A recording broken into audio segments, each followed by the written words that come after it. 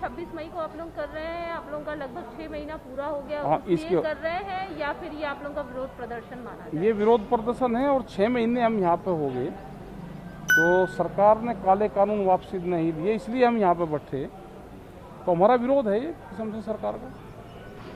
संयुक्त किसान मोर्चा की बात करें तो उन्होंने ये पत्र भी प्रधानमंत्री जी को लिखा है बातचीत करने के लिए वार्ता के लिए। पिछले दिन इक्कीस तारीख की बात है। तो इसमें क्या कुछ आगे कोई आप लोगों की तरफ़ से कुछ हुआ है या सरकार की तरफ़ से किसी तरीके का आश्वासन आप लोगों के पास अभी कोई आश्वासन नहीं हमने चिट्ठी उनको लिखी कि सरकार बात करनी चाहे तो हम बात कर लेंगे। क्योंकि वे बार बार कहते थे ना कि एक फ़ोन कॉल की दूरी पे है तो हमने तो लेटर ही लिख दिया लिखा थोड़ा तो मैं ठीक रहता है रिकॉर्ड में रहेगा।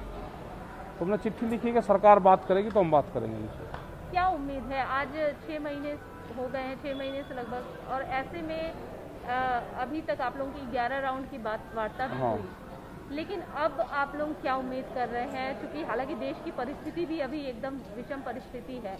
ऐसे में अब क्या आप लोगों की उम्मीद है और क्या आगे आप लोगों की हाँ? परिस्थिति तो पिछले साल भी खराब थी। कोरोना काल में सरकार कानून लेकर आ सकती है तो कानून वापसी भी हो सकते हैं।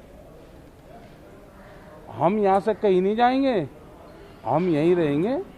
जब सरकार को पूरा फुर्सत हो जाए पूरा देश की प्रॉपर्टी बेच के जब फुर्सत हो जाए तो जब बात कर लेंगे।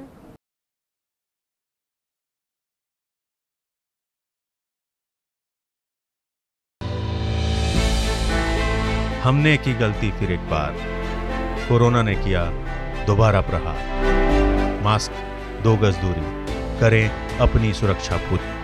कोरोना टीका हम सबको लगाना है। मिलकर साथ समझदारी से कोरोना को हराना है।